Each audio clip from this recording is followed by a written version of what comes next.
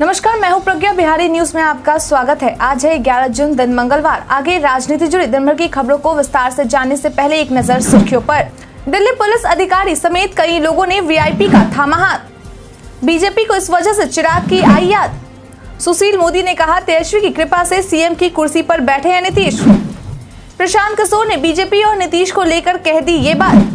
शिक्षक नेताओं को नजरबंद करने को लेकर विजय चौधरी ने दिया यह जवाब। चलिए बढ़ते हैं देश और प्रदेश के राजनीतिक खबरों की ओर विस्तार से। रालोसपा की बढ़ी टेंशन, चिराग ने नवादा सीट पर उम्मीदवार उतारने की कही बात। एक सभा को संबोधित करने लोजपा के राष्ट्रीय अध्यक्ष चिराग पासवान नवादा पहुँचे। इस दौरान उन्होंने ऐलान किया कि वो अपनी पार्टी उम्मीदवार को नवादा के सीट पर भी उतारेंगे।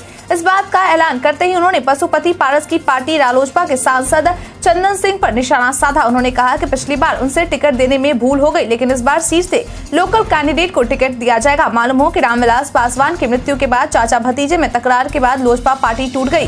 पार्टी के टूटने के बाद चंदन सिंह के बड़े भाई सूरज भान सिंह, पारस गुट यानी रालोजपा में शामिल हो गए। अपने बड़े भाई की पहचान की वजह से ही चंदन सिंह को नवादा से टिकट मिला था। इस सीट से उनको जीत भी मिली। हालाँकि वे अब रालोजपा पार्टी से सांसद हैं। दिल्ली पुलिस अधिकारी समेत कई लोगों ने वीआईपी का थामा हाथ। मुकेश सहनी की विकासशील इंसान पार्टी का समारोह पटना के कंकड़बाग में हुआ। समारोह के दौरान पार्टी में पूर्व आईपीएस अधिकारी दिल्ली पुलिस ब्रजकिशोर सिंह अपने कई समर्थकों के साथ शामिल हुए। पार्टी कार्यकर्ताओं में गजब का उत्साह देखा गया।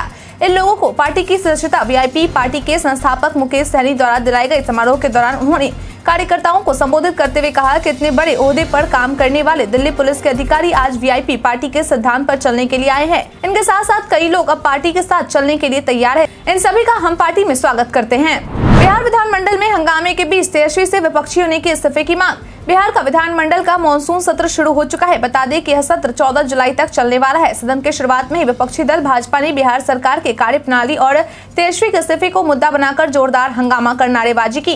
वही नेता प्रतिपक्ष ने पार्टी की बातों को सामने रखते हुए नीतीश कुमार से सवाल किया कि भ्रष्टाचार पर ज़ीरो टॉलरेंस की उनकी नीति का क्या होगा? आगे उन्होंने कहा कि लोकतंत्र के मंदिर विधानसभा के सदर अगर कोई चार्ज सीट भ्रष्टाचारी आकर बैठे और सदस्यों की मांग पर सरकार चुप रहे तो भ्रष्टाचार के खिलाफ ज़ीरो टॉलरेंस की नीति कहाँ गई? आगे उन्होंने कहा कि मुख्यमंत्री को बताना होगा कि आपने भ्रष्टाचार से समझौता कर लिया, कुर्सी से सौदा कर लिया, भ्रष्टाचारी उप मुख्यमंत्री तेजस्वी यादव को बर्खास्त करना होगा।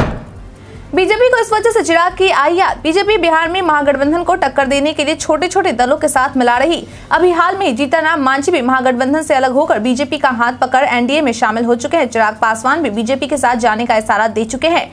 रामविलास पासवान के विरासत के बंटवारे में पार्टी दो गुटों में बेटे चिराग और भाई पशुपति पारस के बीच बढ़ गई। पशुपति पारस तो केंद्र सरकार में मंत्री भी हैं, पर सवाल यह है कि जब पशुपति पारस पहले से ही बीजेपी के साथ है, बावजूद इसके बीजेपी को चिराग पासवान की क्या ज़रूरत है? दरअसल बिहार में राजनीतिक पार्टियाँ जाति को अक्सर मुद्दा बनाती रहती है। रामविलास पासवान के समर्थन में हमेशा से ही पासवान वोटर्स रहे।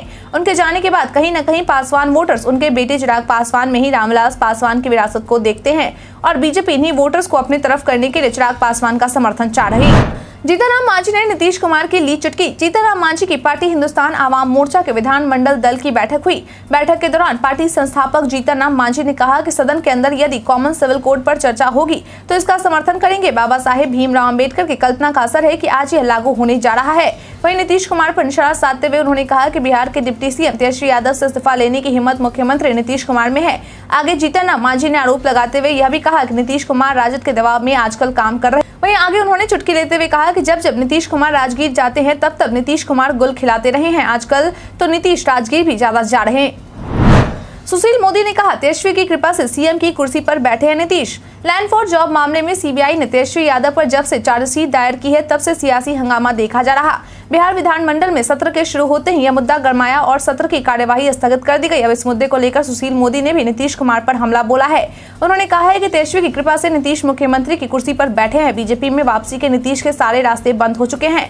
इसलिए सीएम नीतीश चाहकर भी तेजस्वी के खिलाफ एक्शन नहीं ले सकते। शिक्षक अभ्यर्थियों को लेकर बिहार सरकार ने कही ये बात। शिक्षक भर्ती में हुए बदलाव को लेकर शिक्षक अभ्यर्थी लगातार प्रदर्शन कर रहे शिक्षक अभ्यर्थियों की मांगों की चर्चा विधान परिषद में भी की गई, जहाँ बिहार सरकार में मौजूद वित्त मंत्री विजय चौधरी ने कहा कि सरकार शिक्षक नियुक्ति को लेकर काफ़ी गंभीर है। नियोजित शिक्षकों और शिक्षक अभ्यर्थियों की जो भी समस्या है, उस पर सरकार पूरी गंभीरता से विचार कर रही है। आगे उन्होंने कहा की मुख्यमंत्री खुद शिक्षक प्रतिनिधियों से मुलाकात की बात सदन में कह चुके हैं। राज्य कर्मी बनाने को लेकर शिक्षक अभ्यर्थियों की जो मांग है, उस पर बात करने के लिए जल्द ही मुख्यमंत्री शिक्षक प्रतिनिधियों के साथ बैठक करेंगे।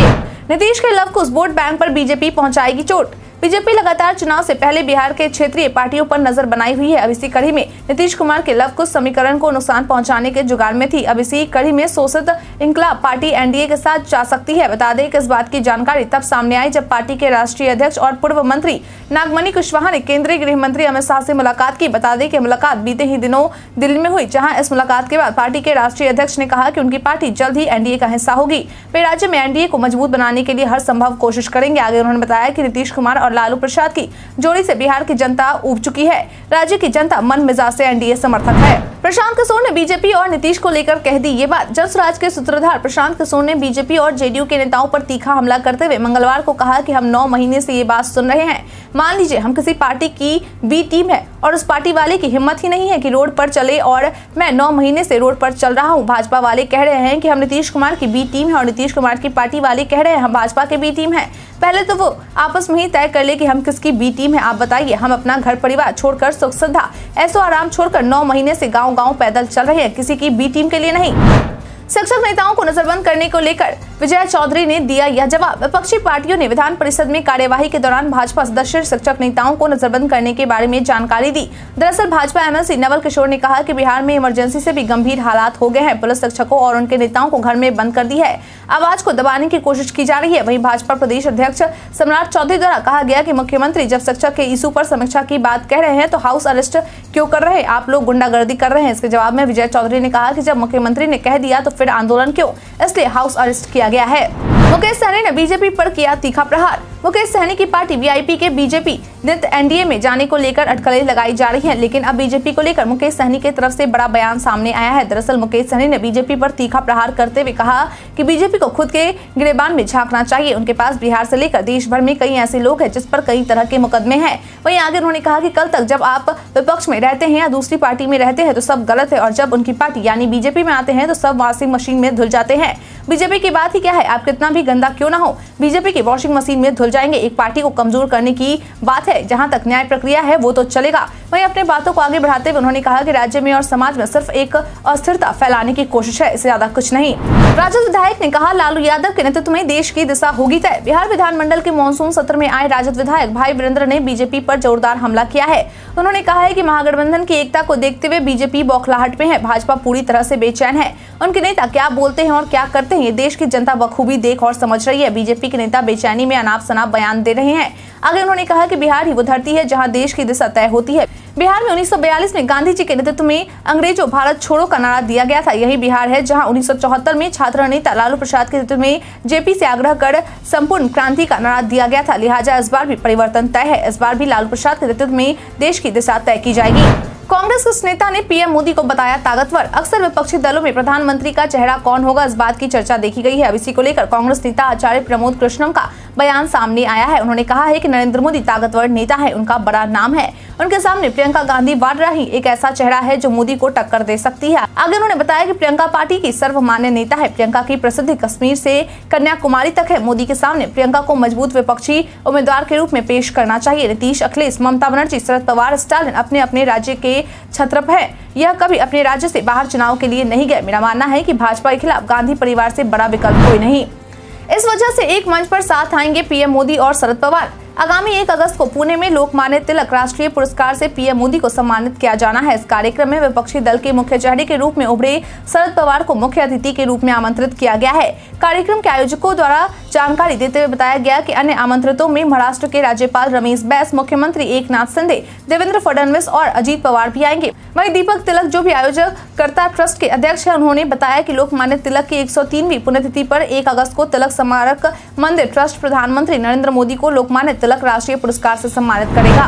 विपक्षी एकता के दूसरे बैठक में सोनिया गांधी भी हो सकती हैं शामिल। बिहार के मुख्यमंत्री नीतीश कुमार विपक्षी एकता की पहल पूरे देश में कर रहे हैं। विपक्षी एकता की पहली बैठक पटना में हो चुकी है, अब इसकी दूसरी बैठक बैंगलोर में होने वाली है। अब इस बैठक में सोनिया गांधी के शामिल होने की खबर सामने आई है। दरअसल कर्नाटक के उप मुख्यमंत्री डी के शिव कुमार ने अपने एक बयान में कहा है की पूर्व कांग्रेस अध्यक्ष सोनिया गांधी के इस महीने बंगलौर में होने वाली संयुक्त विपक्ष की बैठक में हिस्सा लेने की उम्मीद है। संयुक्त विपक्ष अपनी दूसरी बैठक सत्रह और अठारह जुलाई को बैंगलोर में करेगा। फ़िलहाल आज की राजनीति खबरों में इतना ही। हमारा पूछे सवाल का आप लोगों में से बहुत लोगों ने जवाब हमें हमारे कमेंट सेक्शन बॉक्स में लिख कर दिया था, जिन्होंने मतलब पूछे सवाल का जवाब दिया है। उनके नाम है राजकिशोर महतो, मोहम्मद सकीर हुसैन, बाबूलाल मरांडी, महेंद्र कुमार, जितेंद्र ठाकुर। चलिए बढ़ते हैं आज के सवाल की और आज का सवाल है, क्या बीजेपी नीतीश कुमार के लव कुश वोट बैंक को चोट पहुँचा पाएगी? अपना जवाब हमें हमारे कमेंट सेक्शन में लिखकर ज़रूर बताएँ। आज के लिए इतना ही। धन्यवाद।